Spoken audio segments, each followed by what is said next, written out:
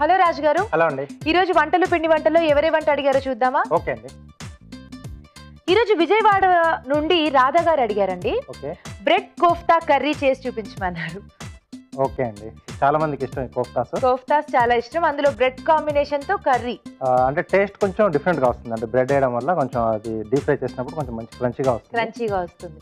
చాలా బాగుంది. కోఫ్తా కొంచెం సాఫ్ట్ సాఫ్ట్గా వస్తుంది. ఆ, లోపల కొంచెం సాఫ్ట్గా ఉంటే పైన కొంచెం క్రంచిగా వస్తుంది. క్రంచీగా వస్తుంది. అంటే ఇది మనం స్నాక్ లా కూడా తీసుకోవచ్చు. ఇక్కడ. కర్రీ అని అడిగారు కాబట్టి టమాటో బేస్ గ్రేవీ ఇచ్చేద్దాం. గ్రేవీ. ఓకే మరి. బ్రెడ్ కోఫ్తా కర్రీ తయారు చేసుకోవడానికి కావాల్సిన పదార్థాలు ఏంటో చూద్దాం. బ్రెడ్ కోఫ్తా కర్రీ తయారు చేసుకోవడానికి కావలసిన పదార్థాలు. బ్రెడ్ ముక్కలు ఒక కప్పు. ఉడికించిన బంగాళదుంపలు రెండు. మైదా రెండు టేబుల్ స్పూన్లు. తరిగిన అల్లం ఒక టీ స్పూన్. షాజీరా ఒక టీ స్పూన్. తరిగిన ఉల్లిపాయ ఒకటి. తరిగిన పచ్చిమిరపకాయలు మూడు. అల్లం వెల్లుల్లి పేస్ట్ ఒక టీ స్పూన్. ఉప్పు తగినంత. కారం తగినంత. పసుపు చిటికెడు. ధనియాల పొడి ఒక టీ స్పూన్. గరం మసాలా ఒక టీ స్పూన్. టమాటో పేస్ట్ ఒక కప్పు. కొత్తిమీర కొద్దిగా. నూనె డీప్ ఫ్రై కి సరిపడా. నిమ్మరసం ఒక టీ స్పూన్. ఫ్రెష్ క్రీమ్ కొద్దిగా. ఓకే మరి కావాల్సిన పదార్థాలు చూసాం కదా స్టార్ట్ చేద్దామా రాజు గారు ఓకే అండి సో ముందుగా ఏం చేసుకోవాలి. సో డీప్ ఫ్రై చేస్తాం కాబట్టి కోఫ్తాలు. నూనె వేడి పెట్టేసుకుందాం. సో తర్వాత ఒక బౌల్లో ఉడికించిన బంగాళదుంపను మెత్తగా మెది పెట్టుకోవాలి. ఓకే సో ఇది బౌల్లో వేసుకొని సో దీంట్లో బ్రెడ్ ముక్కలు మెదిపి వేసుకోవాలండి ఓకే సో మీరు వీట్ బ్రెడ్ యూజ్ చేస్తున్నారా అండి? అవునండి. సో స్పెసిఫిక్గా ఏదైనా రీజన్ ఉందా? లేకపోతే వీట్ బ్రెడ్ అయితేనే బాగుంటుందని? ఆ, మరి ఏదై- ఏదైనా యూజ్ ఏదైనా యూజ్ చేసుకోవచ్చు బట్ నాకు అనిపిస్తుంది వీట్ బ్రెడ్ కొంచెం మనకి ఎక్కువ సాఫ్ట్ ఉండదు కదా? కాబట్టి దీనికి కొంచెం క్రిస్పీగా యూజ్ అవుతుందేమో మిల్క్ బ్రెడ్ మనకి బాగా సాఫ్ట్గా ఉంటుంది. అంటే మిల్క్ వేసుకోవద్దండి కోఫ్తాలో మామూలు శాండ్విచ్ బ్రెడ్ వేసుకోవచ్చు. లేదా ఇలా వీట్ బ్రెడ్ వీట్ బ్రెడ్ వేసుకోవచ్చు. అలాగే సన్నగా తరిగిన అల్లం మైదా కొద్దిగా బ్యాండింగ్ కొరకు రుచికి సరిపడా ఉప్పు కొద్దిగా షాజీరా కొత్తిమీర కొద్దిగా నిమ్మరసం. సో వీటిని మనం బాగా మిక్స్ చేసుకుని తర్వాత కోఫ్తాల్లో రెడీ చేసుకోవాలి. ఆలు ఆల్రెడీ బాగా ఉడికించి పెట్టేసాం కాబట్టి మనకి మిగతా అంతా కూడా మిక్స్ ఫాస్ట్గా అయిపోతుంది. ఫాస్ట్గా అయిపోతుంది. ఓకే. సో వీటిని ఇప్పుడు మనం మ్మ్. కోఫ్తాలో చుట్టేసుకుందాం. ప్లేట్ ఇస్తారా?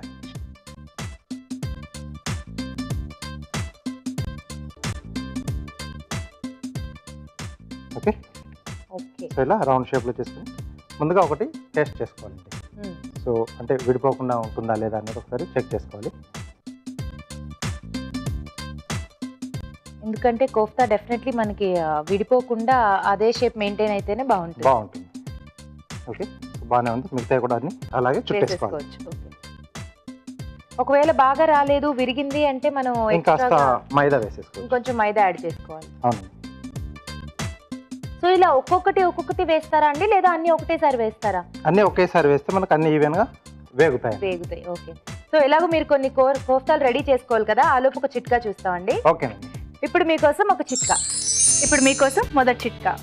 హై బీపీ కొలెస్ట్రాల్తో బాధపడేవారు ప్రతిరోజు ఉదయం పరగడుపునే నాలుగు వెల్లుల్లి రెబ్బల్ని తీసుకున్నట్లయితే హై బీపీ కొలెస్ట్రాల్ లాంటివి కంట్రోల్లో ఉంటాయి. చిట్కా చూసారు కదండి? ఓకే సో చక్కగా కోఫ్తాలన్నీ రెడీ చేసేసుకున్నారు కదా? ఇప్పుడు ఒక్కోటి వేయించేసుకుందామా అండి? కొంచెం ఆయిల్ మనం తక్కువలో పెట్టుకుని వేయించుకోవాలి. ప్రాబ్లం లేదండి. సో ఇది అట్టే పెట్టేస్తారా.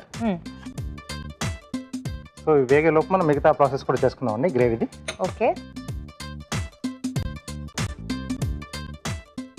సో కొద్దిగా నూనె వేసుకుని. సో దీంట్లో ఉల్లిపాయ ముక్కలు. అలాగే పచ్చిమిరపకాయలు.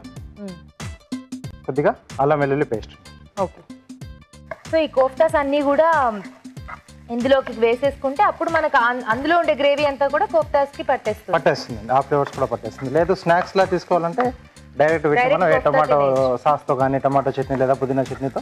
స్నాక్ లా కూడా తీసుకోవచ్చు కానీ ఇక్కడ కర్రీ అనుకున్నాం కాబట్టి మనకి అలా రెండు ప్రాసెస్లు చేసుకుని మిక్స్ చేసుకుంటున్నాం. అవునండి. ఓకే? సో ఇది కొద్దిగా వేగిన తర్వాత ఇక్కడ గ్రేవీకి సరిపడా ఉప్పు. కొద్దిగా కారం. సో ఎక్కువ కావాల్సి వాళ్ళ ఇష్టం చాయిస్ కొంచెం పసుపు. సో ఇక్కడ బేస్ మొత్తం టమాటా ప్యూరీ తీసుకుంటున్నారు. అవునండి. సో టమాటా ముక్కలు ఉడికిచ్చేసి మ్మ్. ప్యూరీలా చేసుకున్నాం. Okay.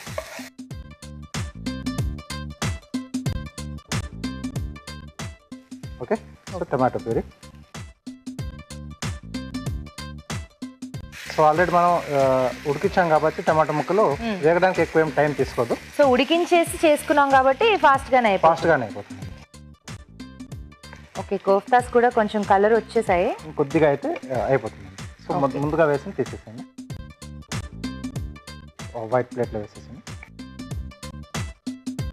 సో కనీసం ఆ కలర్ రావాలి కంప్లీట్ బ్రౌన్లోకి అవునండి. సో ఇంకొస్త ముందైనా తీసేసుకోవచ్చు. ఎందుకంటే ఆల్రెడీ బంగాళదుంప ఉడికిందే బ్రెడ్ కూడా బేక్. అయింది కదా. అవును అవును. సో ప్రాబ్లం ఏం లేదు. బట్ కలర్ కోసం కొంచెం లుక్ కోసం ఉంచాలి అనుకుంటే కాసేపు ఉంచొచ్చు. ఎస్ అండి సో ఇప్పుడు దీంట్లో. ధనియాల పొడి. ఓకే. ఓకే ఇది కూడా రెడీ అయిపోయిందండి. తీసేసేయచ్చండి. Okay. So next. MTR masala వారి గరం మసాలా పొడి అండి. ఓకే.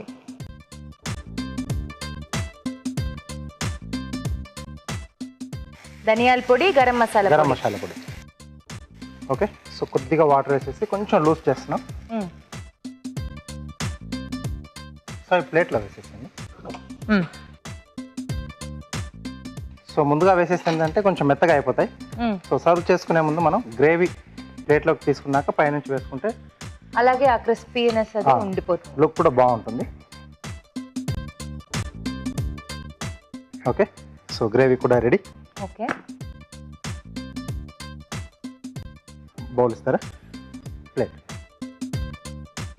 సో ఇందులో వేసుకోక్కర్లేదు. ఫైనల్ దాంట్లో వేసుకుంటే ఆ వేడికి ముందు గ్రేవీ వేసుకొని పైనుంచి మనం కోస్తాలు. వస్తాయి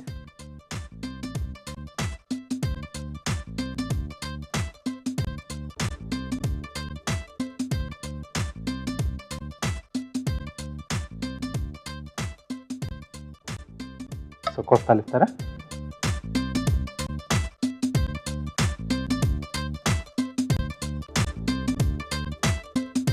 ఓకే? ఓకే. సో చివరిగా కొద్దిగా ఫ్రెష్ క్రీమ్ అండి.